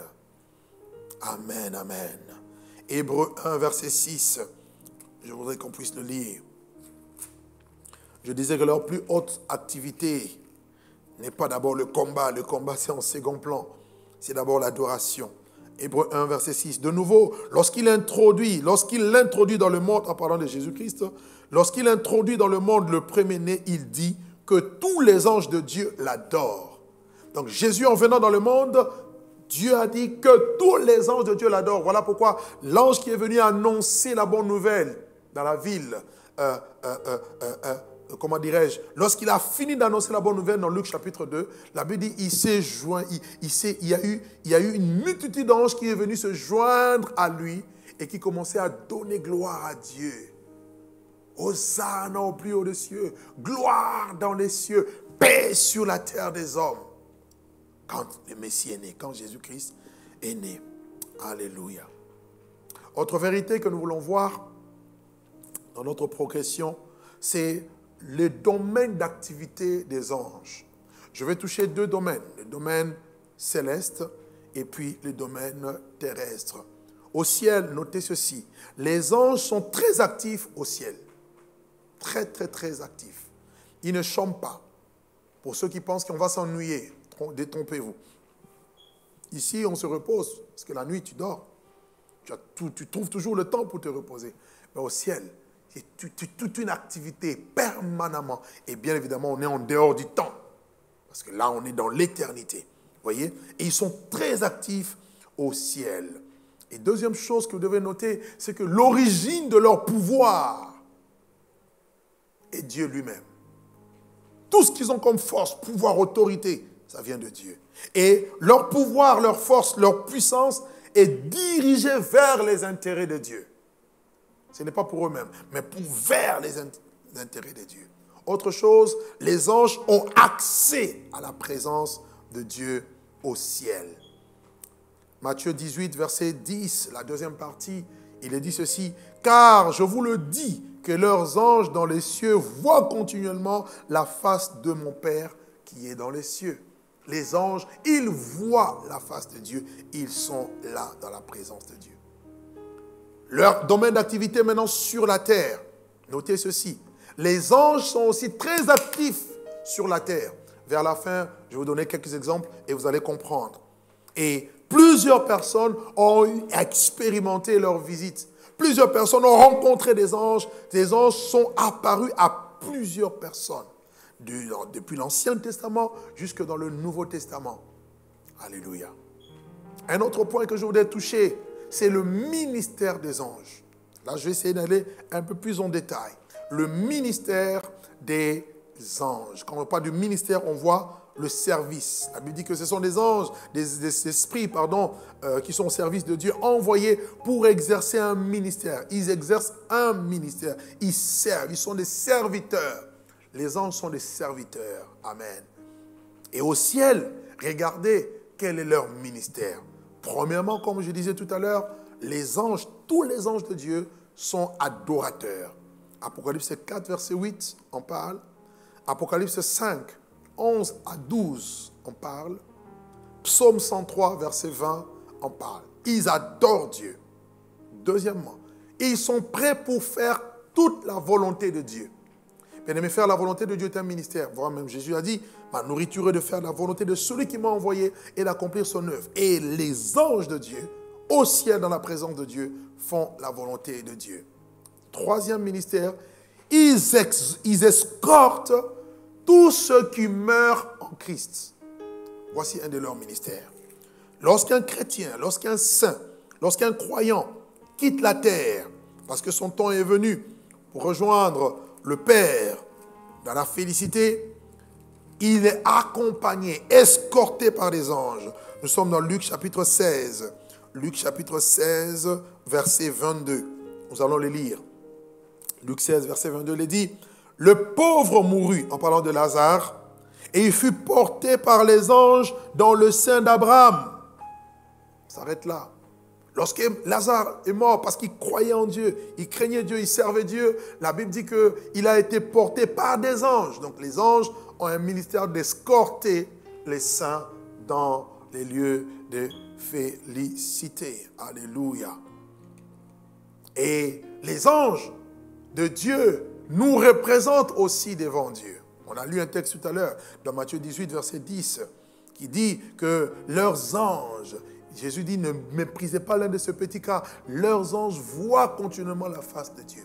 Chaque enfant de Dieu, d'après ce texte de Matthieu 18, verset 10, en m'appuyant sur ce texte, je comprends que chaque enfant de Dieu a un ange qui lui est attitré. Au moins. Au moins. Amen. Donc tu as un ange. Dieu t'a donné un ange qui travaille avec toi, qui te garde, qui te préserve. Alléluia. Alléluia. Gloire à Dieu. Et les anges au ciel, comme on l'a vu tout à l'heure aussi dans Luc 15, 10, ils se réjouissent lorsqu'il y a des conversions. Oh, puisse Dieu nous permettre d'organiser encore des, des, campagnes d'évangélisation si possible, ou des croisades, des conférences, des moments où des personnes qui n'ont jamais entendu parler de Jésus vont donner leur cœur à Jésus-Christ. Alléluia. Alléluia. Et le ministère des anges sur la terre, nous voyons plusieurs, euh, euh, euh, plusieurs choses. Comment est-ce que les anges travaillent ou exercent leur ministère sur la terre? Premièrement, ils règnent sur les nations. Oui. Ils règnent sur les nations. Daniel 10 en parle. Deuxièmement, ils soutiennent les chrétiens, les croyants dans des moments difficiles. Matthieu 4, verset 11. Lorsque Jésus-Christ a été tenté, la Bible dit, les anges sont venus pour le servir. Dans des moments difficiles, les anges sont envoyés. Autre chose, ils fortifient les croyants. Prenons Luc chapitre 22, verset 43. Il est toujours question de Jésus ici. Luc au chapitre 22, le verset 43. Alors un ange lui apparut du ciel pour le fortifier. Ici, Jésus était dans le jardin de Gethsemane, en train d'agoniser face à la mort. Et la Bible dit, Dieu envoie un ange pour le fortifier. Des fois, dans nos moments les plus douloureux, difficiles, Gethsemane nous parle de la solitude. Gethsemane nous parle de la confrontation avec les ténèbres. Gethsemane nous parle de, de, ce lieu-là où tu es seul à seul, tu es pressé, oppressé de toutes parts. Tu n'as pas d'appui. Même les disciples sur lesquels Jésus pouvait s'appuyer, il les trouve endormis.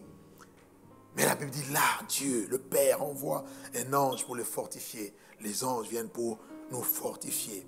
Les anges interprètent aussi la volonté de Dieu à l'homme. Zacharie 1,9, Daniel 7, verset 16. Vous lirez à la maison. Autre chose, les anges guident les croyants. Oui, ils sont comme des guides. Acte chapitre 8, verset 26. Prenons-le. Acte chapitre 8, question ici de l'évangéliste Philippe au verset 26. Un ange du Seigneur s'adressant à Philippe et dit, lève-toi et va du côté du midi sur le chemin qui descend à Jérusalem, de Jérusalem à Gaza, celui qui est désert. Et quand Philippe est parti, il a rencontré qui? L'eunuque éthiopien, qui avait besoin d'interprétation. Mais il fallait que Philippe puisse l'éclairer avec la parole de Dieu. Autre chose, les anges sont envoyés pour exercer le jugement de Dieu, les jugements de Dieu sur les hommes, mais aussi sur les nations. Acte 12, verset 23, nous allons lire. Acte 12, nous prenons même à partir du verset 21. Acte 12, 21 à 23. La Bible dit, à un jour fixé, Hérode, revêtu de ses habits royaux et assis sur son trône, les harangua publiquement. Et le peuple se cria, voix d'un Dieu et non d'un homme. Et au même instant, un ange du Seigneur le frappa parce qu'il n'avait pas donné gloire à Dieu. Il expira et rongé par des vers. Bien aimé, quelquefois, Dieu envoie des anges pour frapper des hommes qui ne donnent pas gloire à Dieu. Il y a des jugements qui viennent, euh, euh, en fait, qui sont exercés, des jugements de Dieu qui sont exercés par des anges. Quand vous, vous lisez Genèse 19, à partir du verset 3, vous voyez comment est-ce que les anges sont venus à, à, Sodome et Gomorre pour exercer le jugement, emmener la pluie de feu et de soufre pour détruire toutes ces villes. 2 Samuel chapitre 24, nous lisons le verset 16 au verset 17. 2 Samuel euh, chapitre 24, verset 16 à 17. Il est dit ceci, comme l'ange descendait la main sur Jérusalem pour la détruire, l'Éternel se répandit de ce mal. Et il dit à l'ange qui faisait périr le peuple, assez, retire maintenant ta main. Et l'ange de l'Éternel était auprès, euh, près de l'air d'Aravna, le Jébusien. David, voyant l'ange qui frappait parmi le peuple, il dit à l'Éternel, voici j'ai péché, c'est moi qui suis coupable mais ces brebis qu'ont-elles fait Que ta main donc soit sur moi et sur la maison de mon Père? Donc voici un ange qui est envoyé et qui frappait tout euh, le peuple d'Israël à cause du péché de David. Oh Seigneur. Apocalypse 16, verset 1 vous le voyez. On en parlera quand on verra sur les sept coupes de la colère de Dieu. Une autre, chose à souligner, les anges amènent des réponses à la prière. Daniel 9, versets 21 à 22. Quand Daniel a commencé à prier, la réponse a été donnée à Daniel au travers d'un ange. Les anges annoncent des messages, comme on l'a vu, Matthieu 1, verset 20 au verset 21. Ils avertissent, Matthieu chapitre 2, verset 13. Je voudrais quand même qu'on lise ce texte d'avertissement. Matthieu chapitre 2, au verset 13, lorsque Hérode cherchait à tuer Jésus-Christ, et regardez la stratégie que Dieu va donner à, Joseph, il dit, lorsqu'il fut parti, voici un ange du Seigneur apparut en songe à Joseph et dit, lève-toi, prends le petit et sa mère et fuis en Égypte et reste-y jusqu'à ce que je te parle, car Hérode cherchera le petit enfant pour le faire périr. Vous voyez? Donc ici, il a eu l'avertissement dans le songe et c'est l'ange qui est venu accorder un message. Les anges de Dieu nous accompagnent. Oh oui. Exode chapitre 23, verset 20. Exode 23, verset 20. Nous lisons ceci. Voici, j'envoie mon ange devant toi pour te protéger en chemin et pour te faire arriver au lieu que j'ai préparé. Oh, que Dieu envoie son ange. À chaque fois quand tu vas sortir, quand tu pries le Seigneur, que Dieu te garde, Dieu envoie ses anges. Il va te garder. Si dans le monde des ténèbres, on avait prévu un accident de circulation, un crash d'avion, ou je ne sais pas, euh, euh, euh, des pièges, l'ange, quand il est envoyé, il va planir les sentiers, il va préparer le chemin là où tu vas aller. Et tu veux négliger le ministère des anges? Non. Alléluia. Les anges de Dieu protègent. Oui, Dieu les envoie pour nous protéger. Psaume 91, verset 11, il est dit ceci. Car il ordonnera à ses anges de te garder dans toutes tes voies et ils te porteront sur les mains de peur que ton pied ne heurte contre une pierre. Oh, Dieu envoie les anges pour nous protéger, mais aussi pour nous libérer. Nombre 20, verset 16. Psaume 34, verset 8 qu'on vient de lire. L'ange de l'Éternel campe autour de ceux qui les craignent et il les arrache du danger. Oh bien-aimé, quand le diable, il, a réussi à t'avoir, même s'il a réussi à t'avoir, il t'a mis dans un piège, dans un filet, Dieu va t'arracher. Dieu va envoyer des anges pour t'arracher des dangers, des pièges du diable. Amen, amen. Daniel 3, verset 28. Dans la fournaise ardente, il y a eu un quatrième homme qui avait la figure du Fils de Dieu. Au milieu des flammes, bien-aimés les anges de Dieu. Oh, comme on n'est pas, comme on n'est pas à bénir Dieu. Comme on n'est pas bénir Dieu. Matthieu au chapitre 26. Regardez, Matthieu 26, 53. La Bible dit, dit ceci. Penses-tu que je ne puisse pas invoquer mon Père qui me donnera à l'instant plus de douze légions d'anges? Les anges. Ça fait partie du ministère des anges. Autre chose, les anges intercèdent. Oui, ils intercèdent aussi. Zacharie 1.12, nous allons lire. Qui m'a dit, mais oui, mais est-ce que les anges vraiment intercèdent? C'est écrit, regardez. Intercéder, se prier en faveur d'eux. C'est ça l'intercession. Il est dit ceci, Zacharie 1, verset 12. Alors l'ange de l'Éternel prit la parole et dit, Éternel des armées, jusqu'à quand n'auras-tu pas compassion de Jérusalem et des villes de Juda contre lesquelles tu t'es irrité depuis 70 ans? Qui intercède ici C'est l'ange de l'Éternel. Amen. Nous prenons Apocalypse au chapitre 8, verset 3 au verset 4.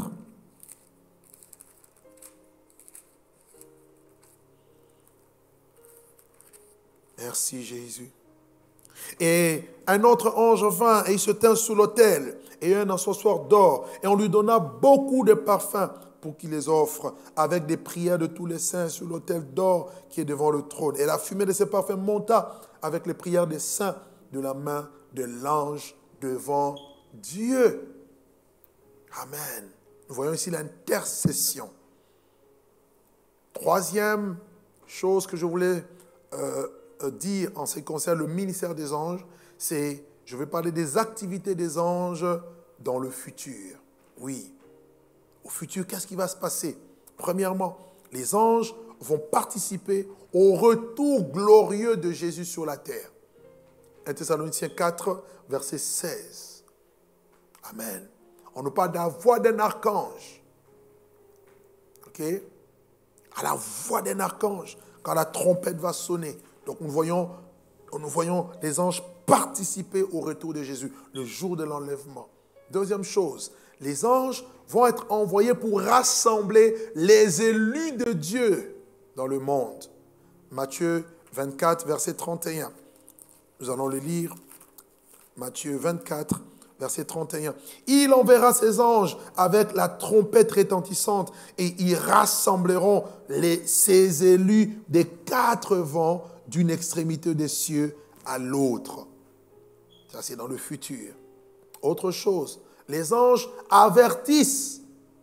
Ils avertiront et ils vont prêcher la parole de Dieu pendant la grande tribulation. Oui. Apocalypse 14, verset 6 à 9. Ça, c'est dans le futur. Pour l'instant, c'est toi et moi qui doivent prêcher la parole. Pas demander à un ange de venir prêcher. Mais dans le futur, c'est ce qui va se passer. Apocalypse 14, verset 6. Et je vis un ange qui volait au milieu du ciel. Il avait un évangile éternel pour annoncer, pour l'annoncer aux habitants de la terre, à toute nation, à toute tribu, à toute langue et à tout peuple. Et il disait d'une voix forte, craignez Dieu et donnez-lui gloire, car l'heure de son jugement est venue. Adorez celui qui a fait le ciel, la terre, la mer et les sources des eaux.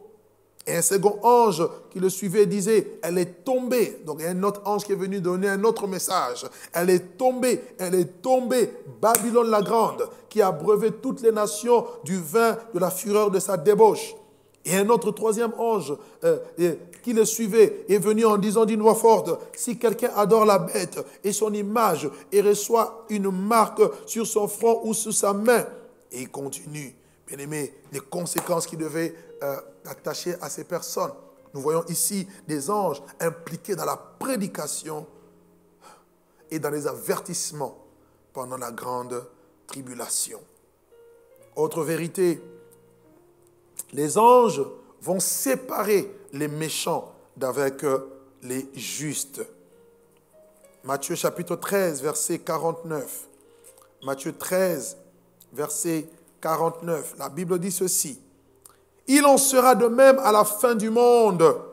Les anges viendront et sépareront les méchants d'avec les justes. À la fin du monde, le ministère des anges sera pour séparer les brebis d'avec les boucs. Les boucs, ce sont des méchants. Les brebis, ce sont des justes. Ils vont séparer pendant la grande tribulation, plutôt euh, à la fin des temps. Et il y aura un ange qui sera envoyé pour lier Satan pour mille ans. Le diable sera en prison.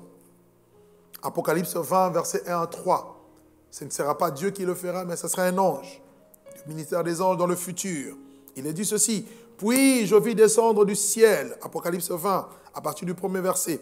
Puis je vis descendre du ciel un ange qui avait la clé de l'abîme et une grande chaîne dans sa main. Il saisit le dragon, le serpent ancien qui est le diable et Satan, lui et il le lia pour mille ans.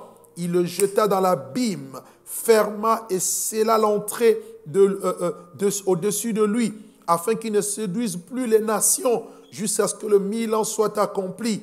Après cela, il faut qu'il soit délié pour un peu de temps. Amen.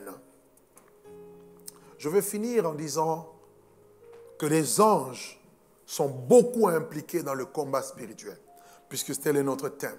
On ne peut pas parler de combat spirituel sans parler d'abord des anges. Ensuite, on parlera de cette révolte demain, de Satan et de ses démons. Et ensuite, on, va, on va aller plus en profondeur. Je vous assure, restons connectés parce que c'est just wow. Amen. Donc nous voyons dans l'Ancien Testament, tout comme dans le Nouveau Testament, les anges aux côtés du peuple de Dieu, aux côtés des croyants, dans le combat spirituel. Et leur ministère est tellement important. Je vais nous donner juste quelques exemples qu'on va essayer de voir rapidement avant de clore notre première session. Nous sommes dans Psaume chapitre 35. Psaume 35, versets 5 à 6. Nous allons lire. Psaume 35, 5 à 6. Notez que dans l'Ancien Testament, les combats étaient beaucoup plus charnels. C'est-à-dire que le sang coulait, les gens mouraient, tout ça. Mais c'était une image, une préfiguration du véritable combat qui est dans l'esprit. Donc l'Ancien Testament, c'était l'ombre. Mais aujourd'hui, on n'a pas à tuer des gens. Dans l'Ancien Testament, on tuait, l'ange allait voilà, égorger, massacrer. Vous voyez, aujourd'hui, la réalité est beaucoup plus dans le spirituel. Il est dit ceci, qu'il soit comme la balle qui les emporte, euh, euh, la balle, pardon, emportée par le vent, et que l'ange de l'Éternel les chasse, et que leur route soit ténébreuse et glissante, et que l'ange de l'Éternel les poursuive. Ici, David parlait de ses véritables ennemis, hein, les ennemis euh, euh des hommes, quoi. ok? Donc ne prends pas ce texte-là pour commencer à dire Seigneur, envoie ton ange pour aller tuer les gens, massacrer les gens. Non, non, non. Là, c'était dans l'Ancien Testament, le combat était beaucoup plus physique, charnel, mais c'était comme le combat spirituel. Quand on nous dit par exemple dans Exode chapitre 17, on nous dit que Amalek est sorti pour combattre Israël à Rephidim. C'était un combat qui était charnel. Mais quand Moïse levait ses mains dans la prière, euh, il levait ses mains, soutenu par Aaron et Hur, Israël était le plus fort. Donc nous voyons là des enjeux dans le monde, euh, des enjeux spirituels qui, euh, qui avaient des conséquences dans le monde physique. Notamment le massacre. Josué, il allait massacrer les gens, il tuait les gens. voyez? Donc c'était des combats. Alors, alors, ici, ce que nous devons retenir, c'est que nous voyons l'importance des anges dans le combat. Parce que quand ils sont impliqués dans le combat, eh ben Dieu terrasse les ennemis. Quand les démons viennent nous attaquer, quand les satanistes font des choses, nous, nous prions le Seigneur, je vais l'expliquer vers la fin, Dieu, quand il envoie ses anges, il s'implique dans le combat et il remporte la victoire pour nous. Donc David avait prié pour que Dieu chasse ses ennemis. Et qui l'ont fait? C'était des anges. 2 Rois chapitre 6, versets 15 à 18. Lorsque l'armée syrienne est venue assiéger Élysée, 2 Rois chapitre 6, le serviteur d'Élysée était étonné. Le serviteur de l'homme de Dieu se leva de bon matin et sortit. Et voici une troupe a entouré la ville avec des chevaux et des chars. Et le serviteur dit à l'homme de Dieu, Ah mon Seigneur, Comment ferons-nous? Et répondit, ne crains point, car ceux qui sont avec nous sont en plus grand nombre que ceux qui sont avec eux. Élisée pria et il dit, Éternel, ouvre ses yeux pour qu'il voie. Et l'Éternel ouvrit les yeux du serviteur qui vit la montagne pleine de chevaux et des chars de feu autour d'Élysée. Aussi, c'est des créatures célestes. Donc, il y avait des armées qui sont venues assiéger. Mais Dieu a ouvert les yeux. Et qu'est-ce qui s'est passé? Il a vu chars de feu et des chevaux de feu. C'était une, image de la victoire. Et quand vous lisez la suite, les Syriens ont été désemparés. Ils ont été déroutés. Leur projet était tombé à l'eau.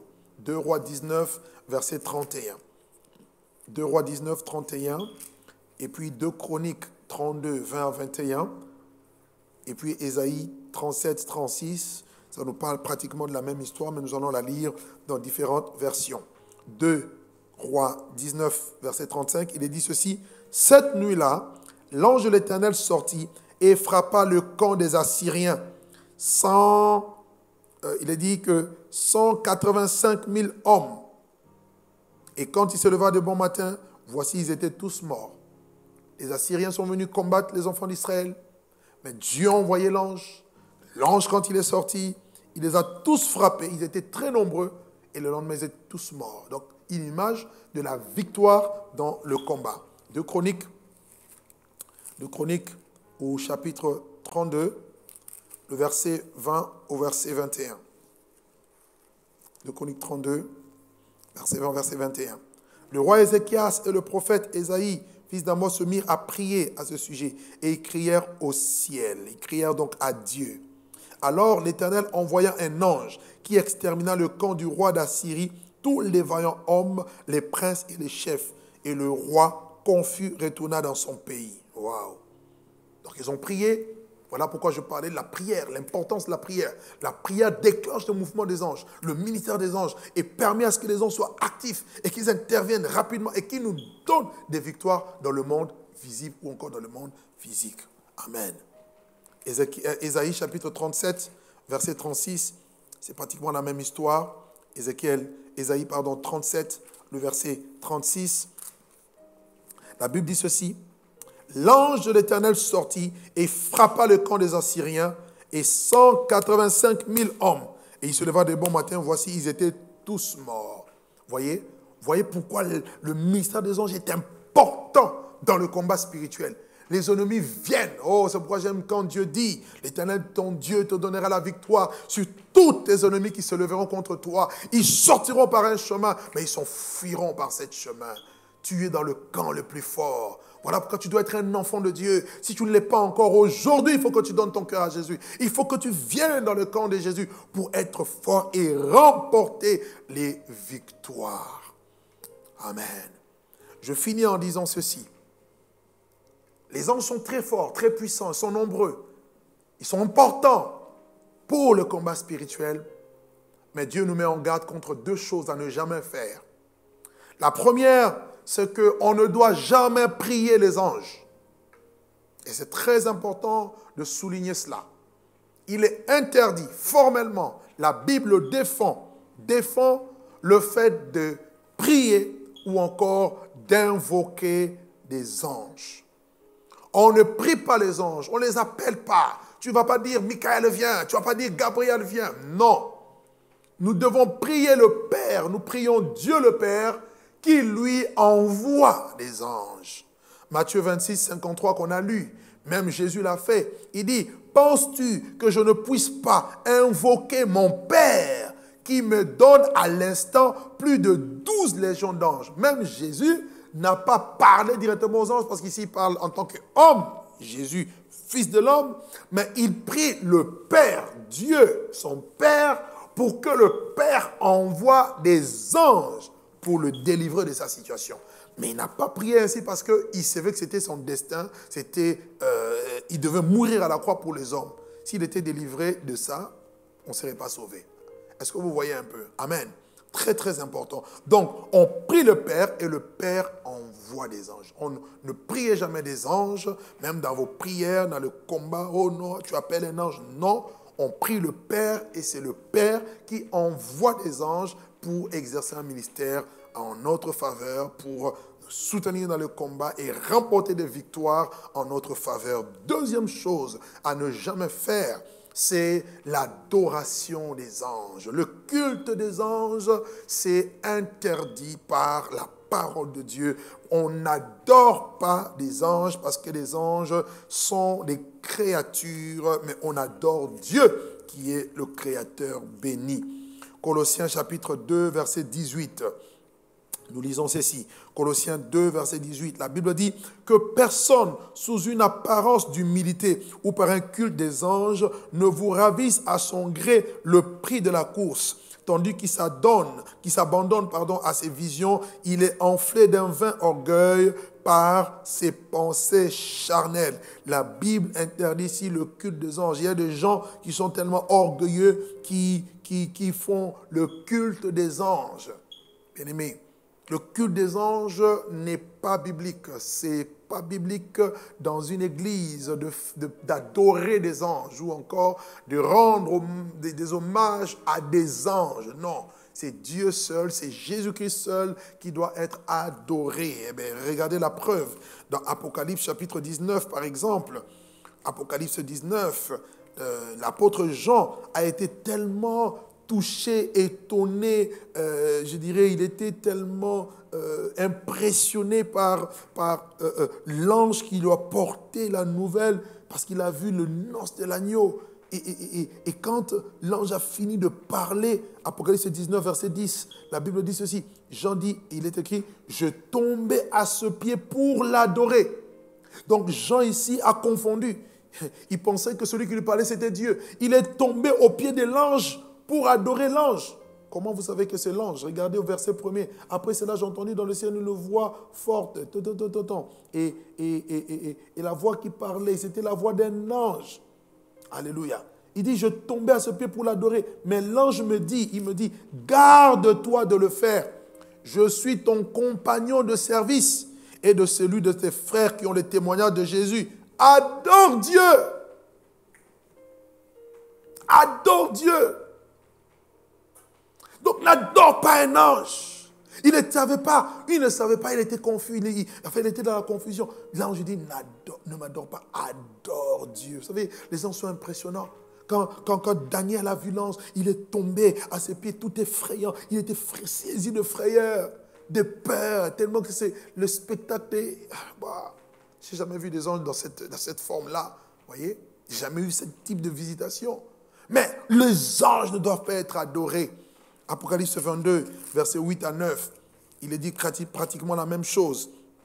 Apocalypse 22, verset 8 au verset 9. C'est moi, Jean, qui ai vu, plutôt qui ai entendu et vu ces choses. Apocalypse 22, verset 8 à 9. Et quand j'eus entendu et vu, je tombais au pied de l'ange qui me les montrait pour l'adorer. Et il me dit, garde-toi de le faire, car je suis ton compagnon de, service et, et celui de tes frères, les prophètes, et de ceux qui gardent les paroles de ce livre. Adore, adore Dieu, adore Dieu. Bien-aimé, Dieu seul doit être adoré. Dans les cieux comme sur la terre, il n'y a pas une créature qui peut prendre la place de Dieu. Sinon, c'est de l'idolâtrie. Alléluia. Alléluia. Vous voyez donc, les anges sont des forces spirituelles. Des forces spirituelles de Dieu que Dieu envoie. Alléluia. Je voudrais vous inviter à la prière. Nous allons faire une première prière. Première prière, nous voulons, je voulais demander à tous ceux qui n'ont jamais donné leur vie à Jésus, ou même tu, tu pensais être chrétien, enfant de Dieu, mais tu n'as pas, tu te rends compte que tu n'as vraiment pas une relation avec Dieu. Et que si Jésus revenait aujourd'hui, peut-être que tu ne partais pas. Je voudrais faire cette première prière avec toi. Parce que la premier, première dimension de combat, c'est lorsque tu quittes les ténèbres, lorsque tu sors du royaume des ténèbres, lorsque tu quittes la puissance des ténèbres pour venir dans le royaume des lumières. Ah, là, le combat va commencer. Et autrefois, le démon contrôlait ta vie. Tu étais lié par des chaînes. Tu avais tellement de liens, des liens familiaux, des liens générationnels, des liens de sang, des malédictions. Il y avait des hôtels sataniques qui criaient pour te réclamer. Mais lorsque ta conversion est sincère et tu veux quitter ce monde et venir à Dieu, tu fais le plus grand pas. Ce que le diable veut, c'est de te maintenir encore prisonnier, captif. Captif de la colère, de la jalousie, de la haine, captif de toutes les mauvaises choses, captif de l'impudicité, de l'adultère, de la magie, de la sorcellerie, du mensonge, des calomnies, de vol, de toutes ces choses ténébreuses. Mais la Bible dit, Dieu prouve son amour envers nous, parce que lorsque nous étions encore pécheurs, Christ est mort pour nous. À peine mourra-t-on pour des justes, mais il est mort pour des injustes, pour des infidèles. Personne ne méritait cela. Et je ne peux pas finir ce moment sans t'appeler au salut. Et si tu réalises ta misère, tu réalises que tu es misérable, tu es, tu es perdu, tu, tu n'as pas d'espérance. Tu vis dans ce monde, mais sans Dieu, sans espérance tu ne sais pas où tu vas. En réalité, tu es comme un aveugle qui ne sait pas où il va. Mais aujourd'hui, Jésus veut t'éclairer. Il a dit à la femme adultère, il dit, je suis la lumière du monde. Celui qui me suit ne marchera plus dans les ténèbres, mais il aura la lumière de la vie. Veux-tu aujourd'hui ouvrir ton cœur? C'est tellement simple. Pour lui dire simplement, Seigneur, je viens à toi. Là où tu es, je voudrais que tu fasses avec moi cette prière. C'est une prière de foi. Mais en faisant cette prière, Jésus va venir dans ton cœur. Il va entrer dans ta vie et il va faire de toi une nouvelle créature. Seigneur Jésus, fais avec moi cette prière. Répète après moi cette prière. Seigneur Jésus, je viens à toi aujourd'hui. Je t'ouvre mon cœur et je te reçois comme mon sauveur et mon Seigneur personnel. Viens me délivrer. Pardonne mes péchés. Lave-moi de toute faute. Purifie mon cœur et donne-moi ton Esprit Saint. À partir de maintenant, prends le contrôle de ma vie. Deviens mon sauveur et deviens mon Seigneur. Dirige-moi et donne-moi la vie, la vie éternelle, la vie en abondance. Au nom de Jésus, je t'ai ainsi prié avec action de grâce. Amen. Alléluia. Tu es là, tu viens de donner ton cœur à Jésus et tu aimerais que nous puissions t'accompagner. T'accompagner dans cette marche, t'accompagner dans, dans, la nouvelle vie que tu as embrassée pour euh, t'aider dans l'affermissement. Voici la bannière qui est en train d'apparaître. Envoie-nous, envoie salut au numéro qui vient de s'afficher sur la bannière. Et nous allons entrer en contact avec vous. Et nous allons prier avec vous. Et nous allons vous inviter, euh, si vous êtes euh, dans la région, euh, rejoindre l'église. Et si vous êtes loin, nous avons CEP chez vous, notre plateforme pour accompagner les hommes et les femmes qui ont donné leur vie à Jésus et qui veulent marcher avec lui. Nous allons entrer en contact avec vous. Mais sachez que c'est la plus grande et la meilleure décision que vous n'avez jamais prise dans votre vie. C'est celle de suivre Jésus. Oh, vous ne serez jamais déçus. Ça ne sera pas facile, mais il vous donne, il vous garantit qu'il sera avec vous. Il a dit, je serai avec vous tous les jours jusqu'à la fin du monde. Alléluia. Je prie que mon Dieu vous garde et que mon Dieu vous bénisse. Et là où nous sommes, tous qui sommes enfants de Dieu, si nous pouvons prendre une minute pour nous tenir debout dans sa présence et nous voulons prier Dieu Alléluia. Nous rendons d'abord grâce à Dieu pour ce premier jour et pour euh, ce message qu'il nous a donné. Et nous prions que sa grâce soit répandue, mais aussi multipliée sur chacun de nous au nom de Jésus-Christ. Seigneur, nous voulons te dire merci pour ce moment. Merci pour ta parole. Au-delà de ce qui a été dit, que le Saint-Esprit continue l'œuvre, Seigneur, de l'enseignement et de l'instruction dans nos cœurs. Merci de nous équiper. Merci de nous préparer. La Bible nous enseigne que Paul avait pris toute une nuit pour enseigner. Là où Étiquus était tombé et était mort et Paul est venu le ramener à la vie. Parce qu'il faut du temps pour enseigner. Très souvent, nous sommes toujours en train de courir, mais nous voulons prendre le temps pour aller en profondeur dans ta parole. David a dit, je sers ta parole dans mon cœur. Je veux la connaître.